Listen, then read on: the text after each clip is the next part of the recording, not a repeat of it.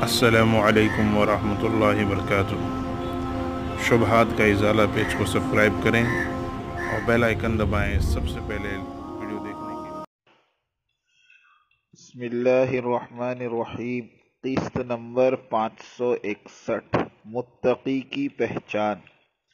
دارالعلوم کے موجودہ فتووں کا معیار۔ بھائی آمین، تجدید ایمان کرے۔ مفتی نعیم صاحب تبلیغی ہے اور ان کا بیان حق ہے۔ دعوتی کام اور اس کا اسلوب۔ الحمد للہ الحمد للہ وحدہ والصلاة والسلام علی من لا نبی بعدہ اما بعد۔ متقی کی پہچان۔ متقی کے بارے میں ایک تو وہ نظریہ ہے جو بندوں نے طے کیا ہوا ہے۔ یعنی وہ آدمی جو دنیاوی کاروبار سے کٹ کر رہ جائے یا حلال اور حرام میں بہت ہی سخت رویہ اختیار کر لے، یا لوگوں سے ملنا جلنا چھوڑ کر کنجا نشینی اختیار کر لے وغیرہ وغیرہ۔ مگر شریعت نے متقی کا معیار جو طے فرمایا ہے وہ بالکل ان نظریات کے برعکس ہے۔ فرمایا، یا ایوہ الذین آمنوا ان تتقوا اللہ یجعل لکم فرقانا وَيُكَفِّرْ عَنْكُمْ سَيِّئَاتِكُمْ وَيَغْفِرْ لَكُمْ وَاللَّهُ ذُو الْفَضْلِ الْعَظِيمِ۔ اے ایمان والو، اگر تم اللہ سے ڈرتے رہو گے تو اللہ تعالیٰ تم کو ایک فیصلے کی چیز دے گا اور تم سے تمہارے گناہ دور کر دے گا اور تم کو بخش دے گا اور اللہ تعالیٰ بڑے فضل والا ہے۔ فائدہ تقوی کا مطلب ہے عوامر الہی کی محافظت۔ اور اس کے مناہی کے ارتکاب سے بچنا۔ اور فرقان کے کئی معنی بیان ہوئے ہیں، مثلا ایسی بصیرت کہ جس سے حق اور باطل میں فرق کر سکے۔ نمبر دو، تقوی کی بدولت، دل مضبوط، بصیرت تیز تر اور ہدایت کا راستہ واضح ترین ہو جائے۔ اس طرح کا نور کہ جب انسان التباس اور اشتباہ کی وادیوں میں دھکے کھاتے پھرتا ہے اور کوئی راہ سمجھ میں نہیں آتی تو تقوی ایسا نور ہے کہ اس نور کی برکت سے اسے سرات مستقیم تک رسائی میسر ہو جاتی ہے فتح و نصرت، نجات اور مخرج بھی اس کے معنی میں شمار ہوتے ہیں۔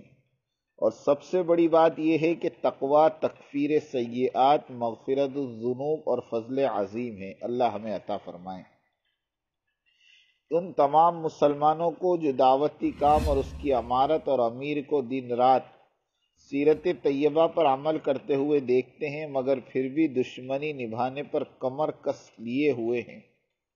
انہیں اپنی خود کی فکر کرنی چاہیے۔ متقی سے یہ امر محال ہے کہ اس کو چڑھتے سورج کے مانند تبلیغی امارت اور سیرت طیبہ والی بات سمجھ میں نہ آ رہی ہو۔ اگر نہیں آ رہی ہے تو یہ بہت ہی ڈرنے کی بات ہے۔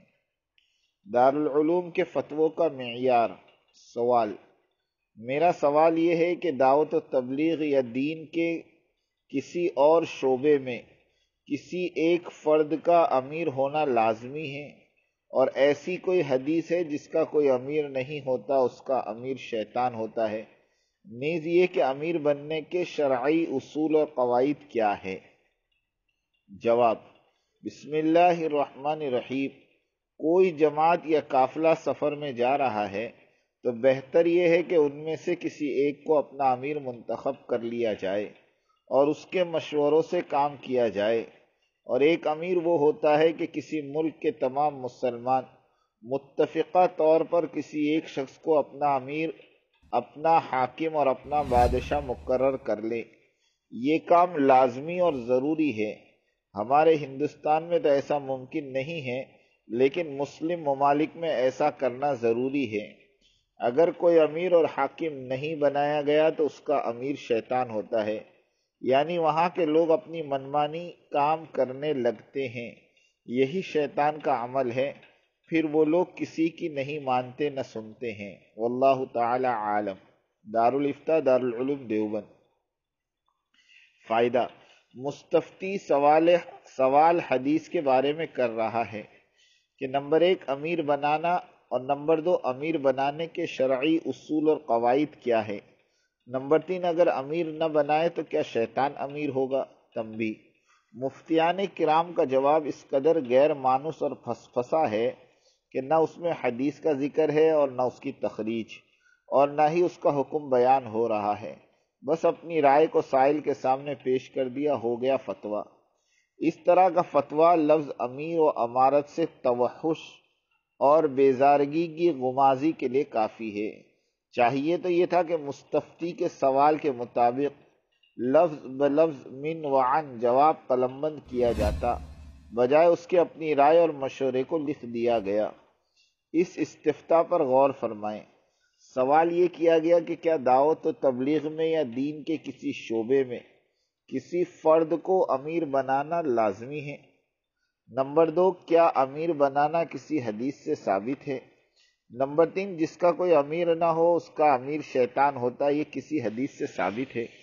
نمبر چار، امیر بننے کے شرائط اور قواعد، شرعی قواعد اور اصول کیا ہے؟ جواب نمبر ایک جی ہاں اگر تین آدمی ہو تو ان میں کا ایک امیر بنے، اور جس کا امیر نہ ہو تو اس کا امیر شیطان ہوتا ہے متفق علیہ۔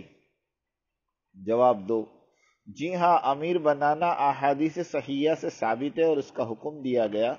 کسی بھی حدیث کی کتاب میں کتاب الامارت دیکھ لیجیے۔ جواب نمبر تین۔ اسلامی مملکت کے اہل حل و عقد یا کسی دینی شعبے کے ذمہ دار یا تبلیغی جماعت کے پرانے ساتھی اور عوام، اگر کسی فرد پر متفق ہو کر اسے امیر منتخب کر لے اور وہ شخص اس پر اپنی رضامندی ظاہر کر دے تو امیر منتخب ہو گیا۔ اتنے اہم استفتا پر اس قدر غیر مانوس طریقے سے فتویٰ دینا کہ نہ اس کی اہمیت بیان کی جا رہی ہو نہ ہی اس مسئلے سے متعلق احادیث اور ان کے مراجع بیان کیے جا رہے ہوں۔ یہ تو فتویٰ اور مستفتی کے ساتھ سراسر ناانصافی ہوئی اللہ باللہ۔ فتوے میں ہندوستان کے بارے میں یہ کہنا کہ یہ عمارت کی شکل یہاں ممکن نہیں۔ مستفتی نے لفظ ہندوستان کے بارے میں تو کوئی سوال نہیں کیا تھا، اس نے تو عام بات پوچھی تھی۔ حضرت حاجی امداد اللہ صاحب کی عمارت، سن اٹھارہ سو ستاون میں حضرت گنگوئی اور حضرت نانوتی نور اللہ مرکدہ اما کو انگریز سامراج سے نبر و آزمائی کرنے کے لیے شرعی امیر کی حاجت پیش آئی۔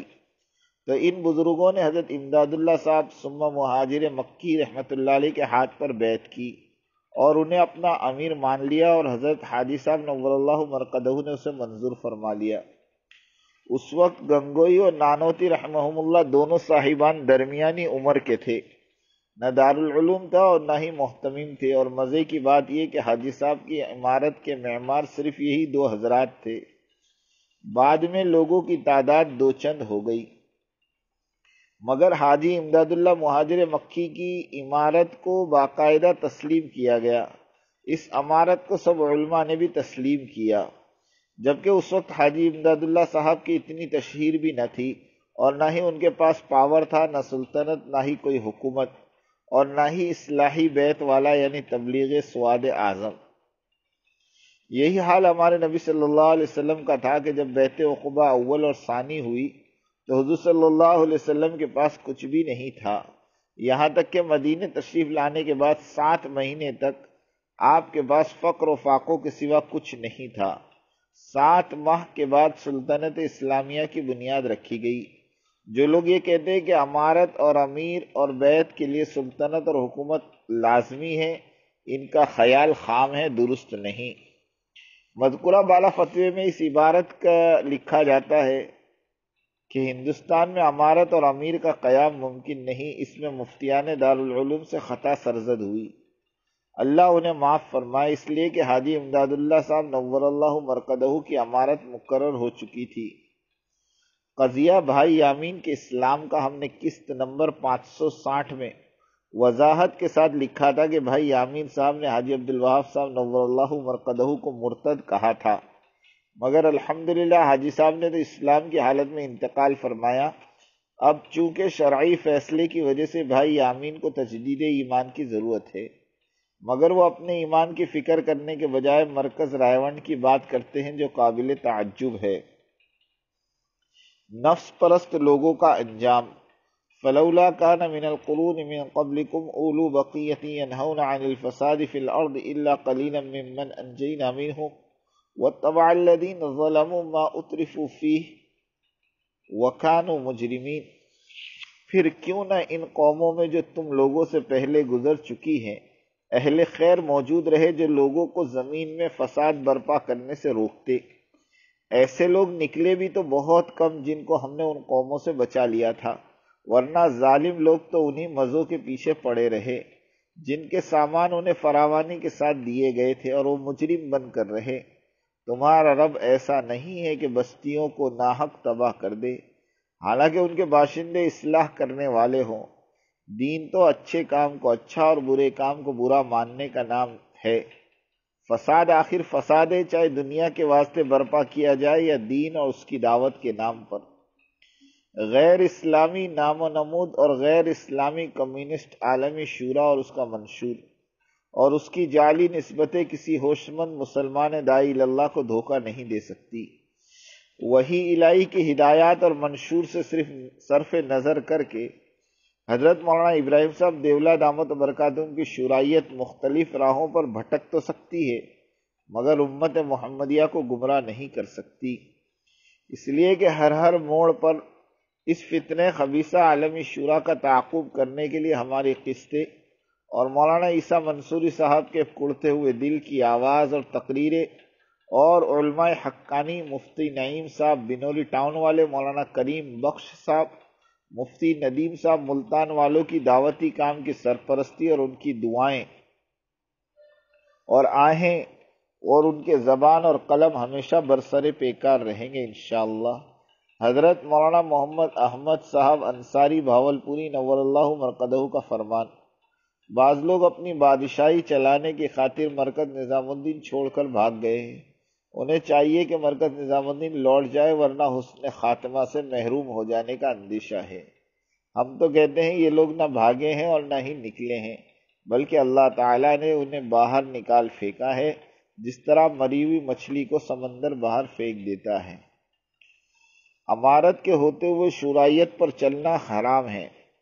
اللہ کے نبی صلی اللہ علیہ وسلم نے فرمایا، جب ایک خلیفہ کی خلافت کے بعد دوسرے خلیفہ کے ہاتھ پر بیت ہو تو دوسرے کو قتل کر دو۔